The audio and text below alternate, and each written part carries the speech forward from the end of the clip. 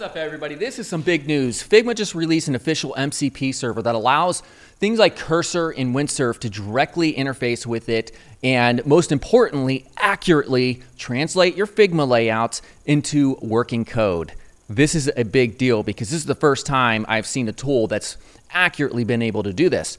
So, here's how it works. Essentially, the first thing you want to do is in your choice of uh, AI code editor, I'm using Cursor, you want to make sure you are set up correctly with the MCP server. This is a, a one and done sort of thing. So essentially, what we want to do is click Open Project, go to your code folder, wherever you store your code projects. I'm going to create a new one called Figma uh, Test here, and then hit Select Folder. And you want to come up here to Chat Settings and MCP, click, and if you don't see Figma down there, click Add Custom MCP, and you want to make sure Figma right here, URL is enabled right there. And then you, once you save that, go back to cursor settings and hit refresh, and you should have access now to Figma. Okay, now the other part that you have to make sure is Figma itself, you want to make sure it's enabled. So open up any project. Here I have grid layout. This is the layout we are going to create. And we're going to come over here, go to preferences, and then make sure enable dev mode MCP server is enabled. That's all you have to do. Two steps, that's it. So the next part is very important. This is about your layout. You can't just design a layout without auto layout, without variables or styles applied, because then you're really not passing much context. You're going to reduce the chances of, you know, pixel perfect success. So here's how this essentially works.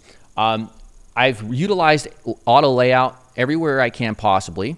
Um, and I've also utilized some other things here such as wherever there are colors, like for instance, the background color of the, the white frame container.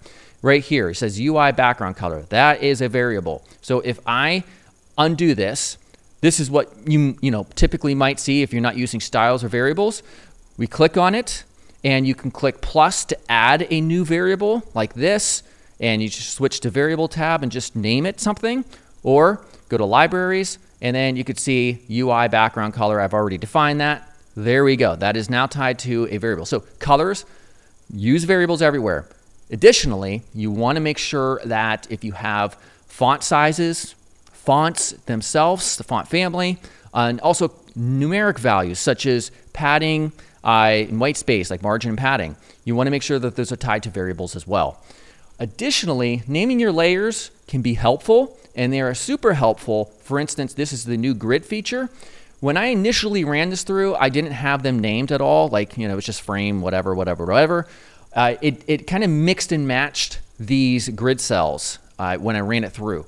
So what I decided to do is to pass the context of, you know, through the layer names of where each of the grid items should should uh, place. So like row one, two. So this is row one, row two, uh, and then column one. That's that grid item. And when you tell it to look at the names, it's going to help get this knocked out as cleanly as possible. So if I drag this window in and out, you'll see that it's all you know set up in auto layout both ways. I, I have a min uh, width right there, height rather. So once you have that, then you just simply select the frame. In this case, I'm going to select the entire you know frame that comprises of the whole layout and then you switch to cursor. So make sure that is selected because it has to pass that context to the MCP server.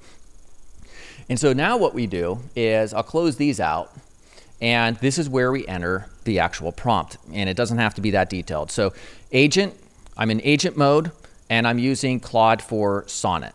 So the actual prompt, I'm going to specify something like uh, take the selected frame in Figma and con uh, convert it to a website layout using HTML and Tailwind CSS.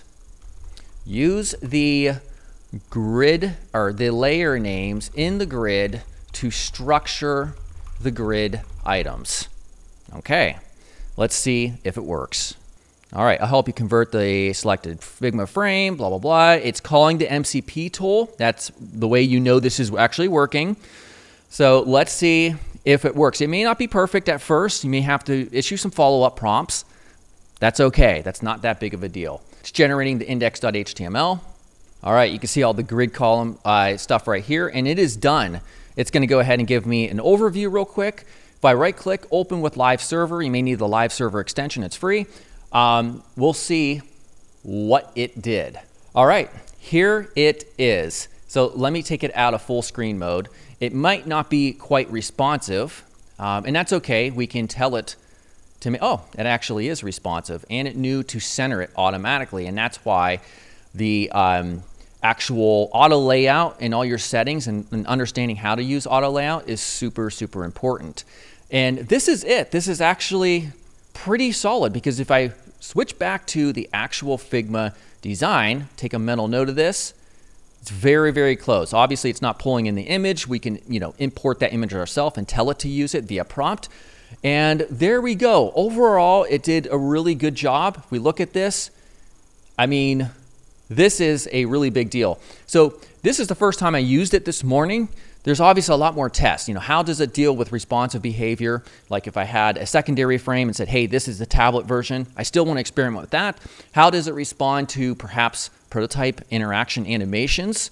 There's a lot more to learn about this. I'm super excited. I'm going to be creating a whole new, brand new, comprehensive Figma course that covers all this stuff, as well as all the recent tools that came out, such as Figma Make, um, and the branding uh, elements they have, the Figma Draw, etc. So definitely check out designcourse.com, and I will see you all very soon. Goodbye.